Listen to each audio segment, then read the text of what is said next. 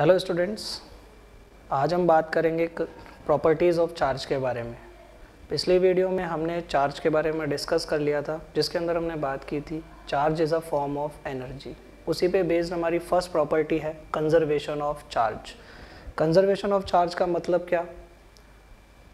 Charge is a form of energy it means energy को ना तो हम बना सकते हैं, ना ही ख़त्म कर सकते हैं। सिमिलरली चार्ज को भी हम ना बना सकते हैं, ना ही ख़त्म कर सकते हैं। It means charge can not be created nor be destroyed charge is only transferred from one body to another body one body means one atom to another atom एक एटम से दूसरे एटम में चार्ज का transfer होना।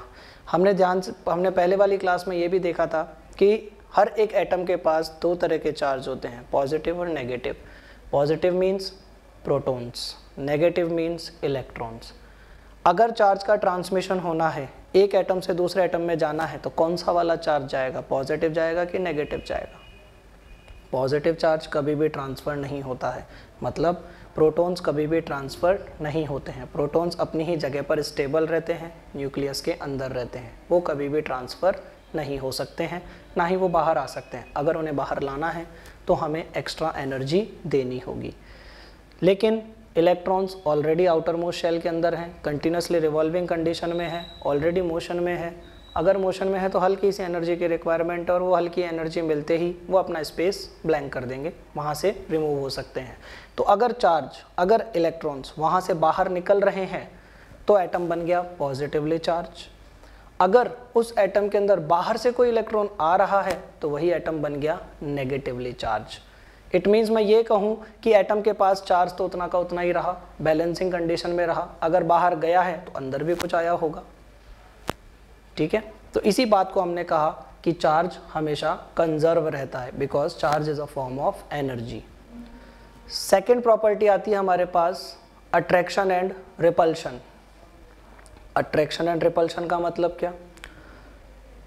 Charge दो type के हमने कहे, एक पॉजिटिव और एक नेगेटिव अट्रैक्शन फिनोमिना वर्क करता है सिमिलर प्रॉपर्टीज़ मतलब मैं ये कहूँ कि अगर हमारे पास एक पॉजिटिव चार्ज और एक नेगेटिव चार्ज दोनों अगर आपस में पास पास आ रहे हैं, दोनों अगर आपस में पास पास आ रहे हैं तो पॉजिटिव और नेगेटिव के बीच में होगा अट्रैक्शन सिमिलरली अगर सेम टाइप के चार्ज पास पास आ रहे हैं मतलब पॉजिटिव पॉजिटिव या फिर नेगेटिव नेगेटिव अगर ऐसा है तो उनके अंदर होगा रिपल्शन वो दोनों एक दूसरे को रिपेल करेंगे. ऐसा होता क्यों है?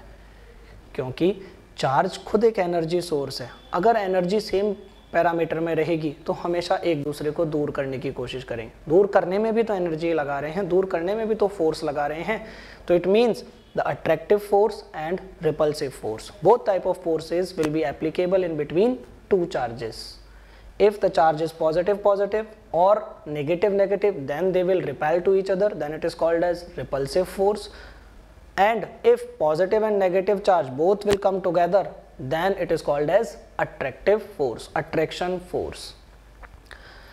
तीसरा फिनोमिना आता है, तीसरी प्रॉपर्टी आती है quantization of charge quantization word ही बड़ा स्पेशल है क्वांट क्वांटाइजेशन जो वर्ड बना है, वो बना है क्वांट से. और क्वांट का मीनिंग होता है, अगर मैं नॉर्मल वे में कहूँ तो पैकेट्स छोटे छोटे पैकेट्स अब पैकेट किसके? एनर्जी के. हमारी बॉडी जो है ह्यूमन बॉडी वो भी एनर्जी से ही बनी है। उसके अंदर भी कुछ ना कुछ एनर्जी है। इट मीन्स छोटे छोटे एनर्जी के पैकेट्स हैं। हमारी बॉडी के अंदर जो एनर्जी है, वो भी एटॉमिक एनर्जी है। बस हमारी बॉडी के अंदर जो न्यूक्लियस है, वो न्यूक्लियस सेल्स की फॉर्म में शिफ्टेड है। वैसे ही एटम के अंदर वो न्यूक्लियस की फॉर्म में है। तो जो क्वांटाइजेशन फिनोमिना है क्वांटाइजेशन फिनोमिना क्या कहता है कि हर एक एटम के अंदर बहुत सारे चार्ज पार्टिकल्स होते हैं। कौन कौन होते हैं? वो बहुत सारे प्रोटॉन्स और इलेक्ट्रॉन्स हर एक इंडिविजुअल प्रोटॉन अपने आप में एक एनर्जी का सोर्स है। हर एक इंडिविजुअल इलेक्ट्रॉन अपने आप में एक एनर्जी का सोर्स है। इसका मतलब मैं ये कहूँ कि एक सिंगल एटम बहुत सारे एनर्जी के छोटे छोटे पैकेट से मिलकर बना है। और वो सारे के सारे एक ही जगह पर क्लोज्ड हैं पैक्ड हैं। एक सिस्टम के अंदर है, जिसको हम कहते हैं आइसोलेटेड सिस्टम उसके अंदर पैक हैं, सारे पैकेट्स छोटे छोटे पैकेट्स जितने भी हैं वो। अब वो सारे छोटे छोटे पैकेट्स क्या कहते हैं? कि चार्ज अगर कोई भी एक सिस्टम के अंदर से कोई भी एक चीज़, कोई भी एक, या तो इलेक्ट्रॉन हुआ, या फिर प्रोटॉन हुआ। अब अभी थोड़ी देर पहले हमने कहा कि भाई प्रोटॉन तो बाहर जाएगा ही नहीं। प्रोटॉन तो अंदर ही है तो इसका मतलब बाहर कौन गया? इलेक्ट्रॉन। इलेक्ट्रॉन बाहर गया तो अपनी एनर्जी को बाहर लेकर गया। अगर वो अपनी एनर्जी को बाहर लेकर गया है तो सिस्टम के अंदर भी कुछ ना कुछ एनर्जी सेव रह गई है। तो इलेक्ट्रॉन्स बाहर जाएँ या फिर अंदर आएँ? तो अगर बाहर जा रहे हैं तो पैकेट्स की फॉर्म में। अंदर आ रहे हैं तो भी पैकेट्स की फॉर्म में। तो इसका सीधा सा मीनिंग क्या हुआ कि हर एक एटम अपने आप में एक एनर्जी का पैकेट है, जिसके अंदर छोटे छोटे स्मॉलेस्ट एलिमेंट्स हैं, वो भी अपने आप में एनर्जी के सोर्सेज है तो वो भी छोटे छोटे पैकेट्स हो गए। तो एक बड़ा बॉक्स उसके अंदर छोटे छोटे छोटे छोटे बहुत सारे एलिमेंट वो बॉक्स कौन? एटम और वो छोटे छोटे एलिमेंट कौन? जो एनर्जी के सोर्सेज है प्रोटोन और इलेक्ट्रॉन्स न्यूट्रॉन अपने आप में क्या है? एक न्यूक्लियस सोर्स, जिसका काम क्या है? बैलेंसिंग करना, पॉजिटिव को पॉजिटिव चार्ज प्रोवाइड करना, नेगेटिव को नेगेटिव चार्ज प्रोवाइड करना। अल्टीमेटली वो एक न्यूट्रल चार्ज है। बस, वो दोनों की तरह बिहेव करता है। जब जैसी रिक्वायरमेंट, अगर पॉजिटिव की रिक्वायरमेंट है तो पॉजिटिव चार्ज बन जाएगा, नेगेटिव की रिक्वायरमेंट है तो वो नेगेटिव चार्ज बन जाएगा। अगर ऐसा है तो हर एक प्रोटोन और हर एक इलेक्ट्रॉन का अपना खुद का चार्ज हुआ, अपनी खुद की एनर्जी हुई, वो एनर्जी है कितनी? हर एक प्रोटोन की और हर एक इलेक्ट्रॉन की। प्रोटॉन की एनर्जी कहूँ, चाहे मैं इलेक्ट्रॉन की एनर्जी कहूँ, दोनों की एनर्जी सेम, और दोनों नंबर में भी सेम होते हैं।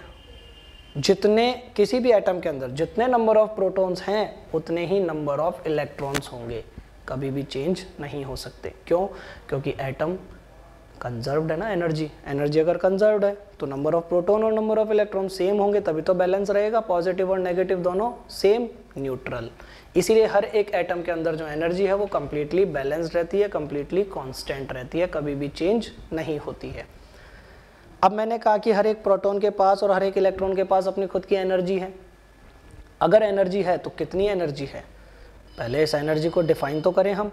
इस एनर्जी को हम सिंबलाइज करते हैं by the help of unit its unit and its unit is coulomb. The SI unit of charge is coulomb. So every electron or every proton has some energy. That energy is 1.6 multiplied 10 to the power minus 19 coulomb. And both proton and electron both have same energy same charge. But proton has a positive and the electron has in its negative form.